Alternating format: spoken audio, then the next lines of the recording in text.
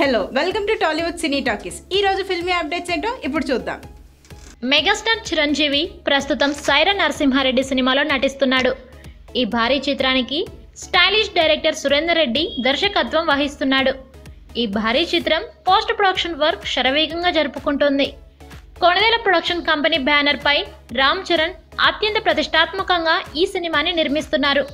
దసరా కానుకగా అక్టోబర్ రెండున ప్రపంచవ్యాప్తంగా ప్రేక్షకుల ముందుకు వచ్చేందుకు రెడీ అవుతోంది.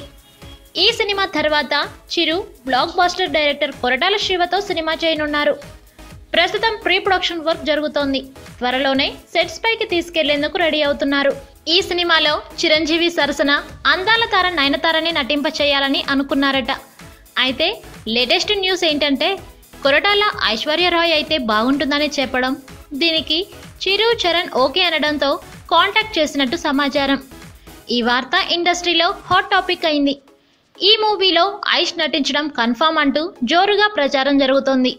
మరి ప్రచారంలో ఉన్న వార్త నిజమేనా కాదా అనేది తెలియాల్సి ఉంది. ఇవి ఈరోజు ఫిల్మీ అప్డేట్స్. మరిన్ని ఫిల్మీ అప్డేట్స్తో కలుసుకుందాం.